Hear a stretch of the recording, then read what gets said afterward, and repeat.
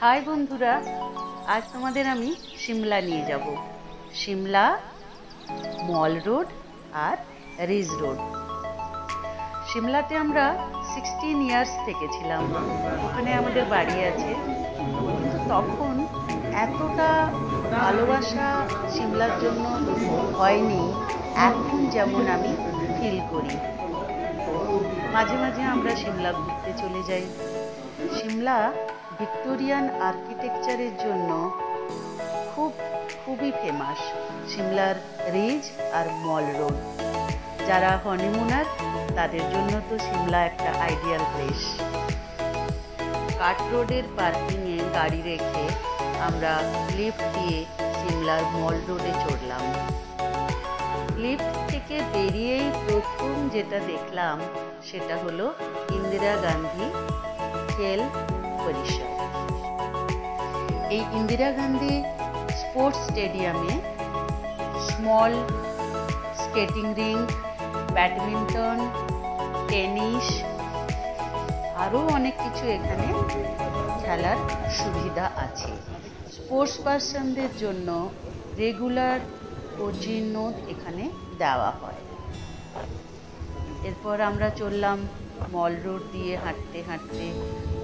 খিদে পেয়ে গেছিল, তাই আমরা খাওয়ার জন্য কোনো একটা পার্টিকুলার রেস্টুরেন্টে আমরা খাই সেখানে। প্রতিবার গেলে তো ওখানেই আমরা খাওয়া দাওয়া করে আবার আমরা মল রোডে ফিরছি।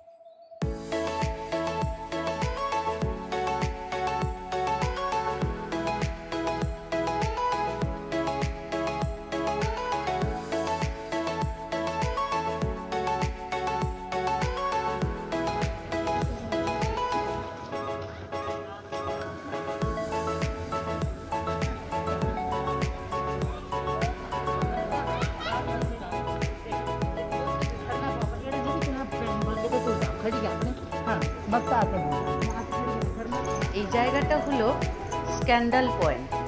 নামটা একটু অদ্ভুত তাই না? এই জায়গাটা টুরিস্টদের জন্য খুবই ফেমাস একটা জায়গা।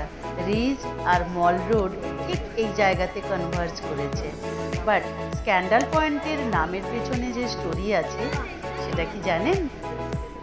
পাতিয়ালার মহারাজা ভূপিন্দর সিং। ব্রিটিশ ভাইসরয়ের কন্যাকে ঠিক এই জায়গা থেকে উঠিয়ে নিয়ে যান।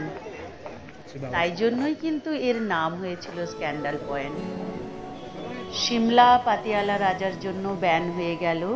তাই পাতিয়ালার রাজা তখন চায়েল নামে একটি জায়গা যা সিমলা থেকে ফর্টি ফাইভ কিলোমিটার দূরে। ওই জায়গাটাও কিন্তু একটা ফেমাস ট্যুরিস্ট স্পট এখনের জন্য।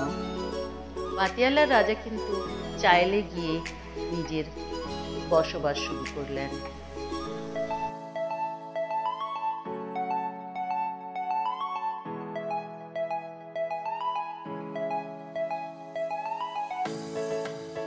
কি যে অপরূপ দৃশ্য আমি বর্ণনা করতে পারছি না।